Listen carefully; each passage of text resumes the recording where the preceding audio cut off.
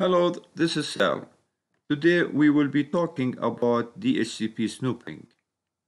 It's a layer 2 security technology built into the operating system of a capable network switch that drops DHCP traffic determined to be unacceptable. The fundamental use case for DHCP snooping is to prevent unauthorized, which is rogue DHCP servers, offering IP addresses to DHCP clients just like this DHCP server. And it's a rogue DHCP server. So a rogue DHCP server is a DHCP server on a network which is not under the administrative control of the network staff.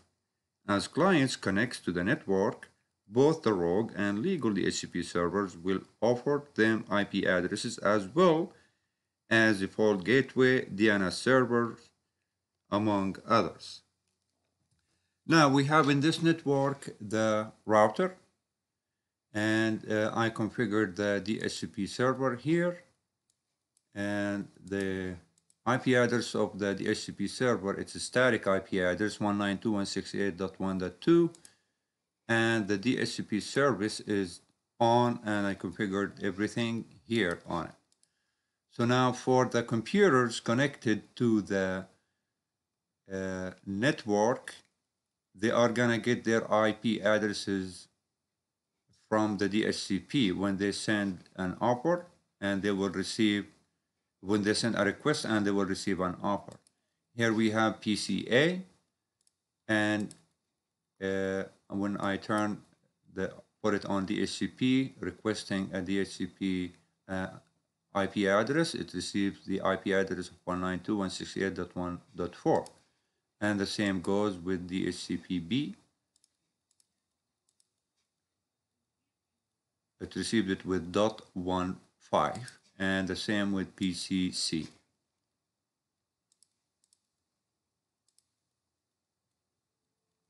So here uh, for us on the DHCP server, it is switch the traffic between the network devices and the same when a PC sends uh, an IP requesting it from the DHCP server. The DHCP server answered this request with an offer and as you saw here with PCA, PCB, and PCC, they received their IP addresses from the DHCP server. And as for the switch here, let's see uh, if uh, IP DHCP snooping is turned on. Enable, show IP DHCP snooping. And as you can see here, it's by default turned off. DHCP uh, snooping is disabled and we need to enable it. And snooping is configured on the following VLANs, none. We have uh, no VLAN is configured to have a DHCP snooping. Here, uh, when we run this command on the switch, show IP interface brief.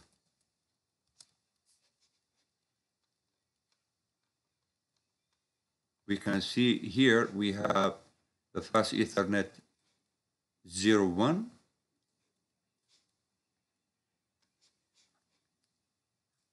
here this port and this here and plus the IP sorry, the port for uh, Fast Ethernet 010, the port connecting the switch with the server. So now if we turn show VLAN brief, this is showing us that all the ports on the switch are configured on by default on VLAN 1. So now let us assume that the uh, rogue DHCP and is it's also configured with a static IP address of 192.168.2.2 and with the default gateway. And the services is on for the HCP and uh, it's from 192.168.2.0 to 55 IP addresses. So now let's assume that this rogue server with the guy who is operating it was able to connect, you know, so to fast Ethernet 020 and PCA here sent a request requesting an IP address from the servers. IP config, renew. It's received the same IP address was configured to it before, and we can see here uh, the DHCP, the rogue DHCP server. Now, let's try again to see from which DHCP server is gonna receive the IP address from. And as you can see here, the switch didn't care or didn't know any better.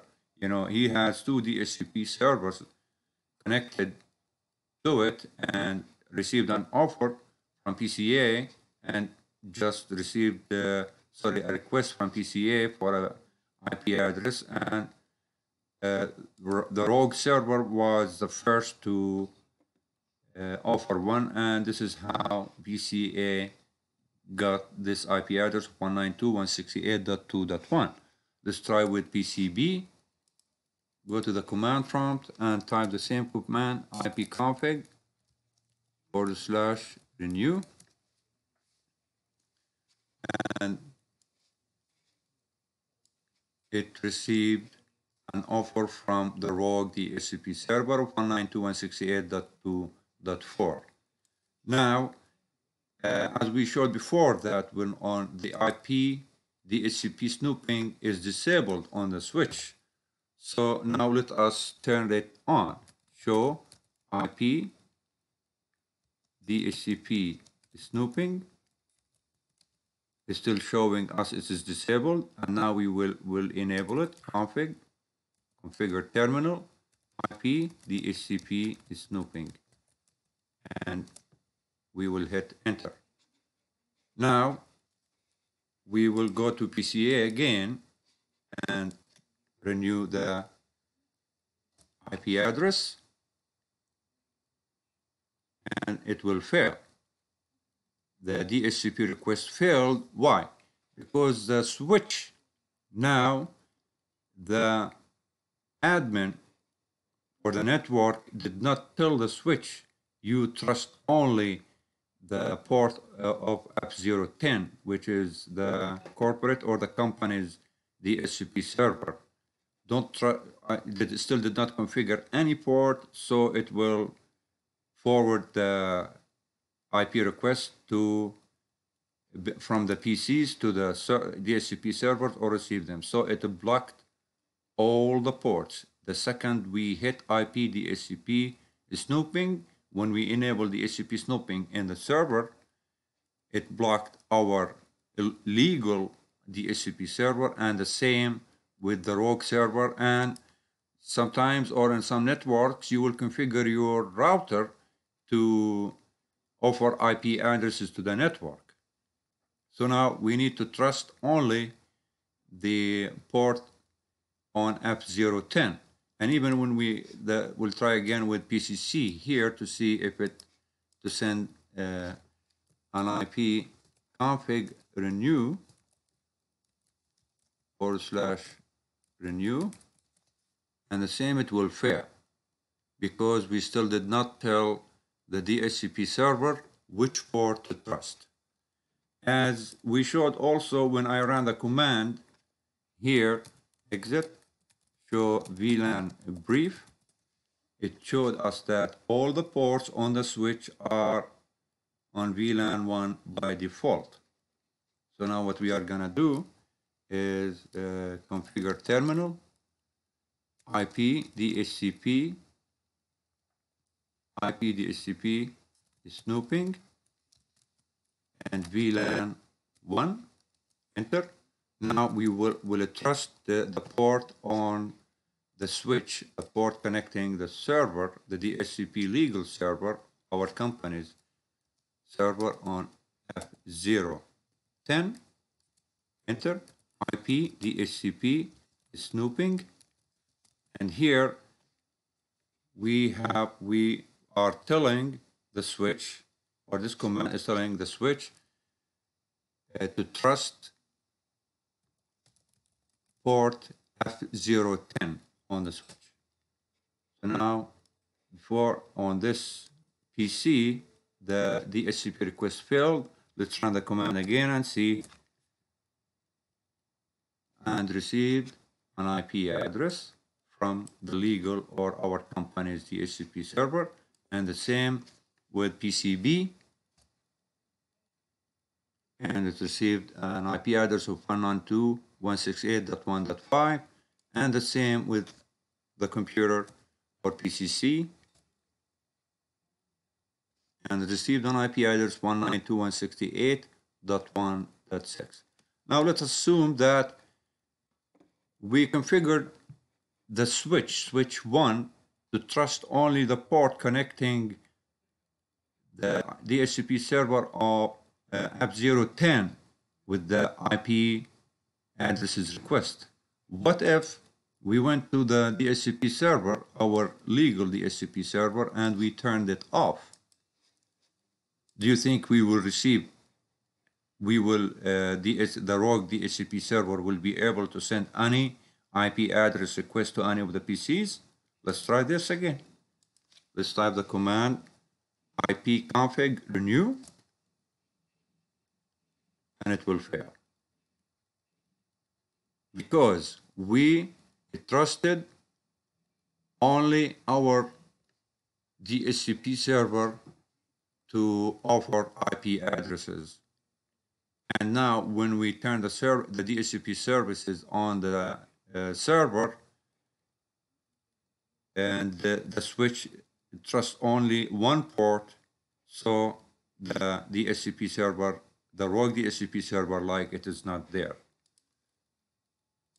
Now go back to the DHCP server, our company's DHCP server, and turn it back on and go to PCA again, and it will send an IP uh, request an IP address, and it received an offer of 192.168.1.4.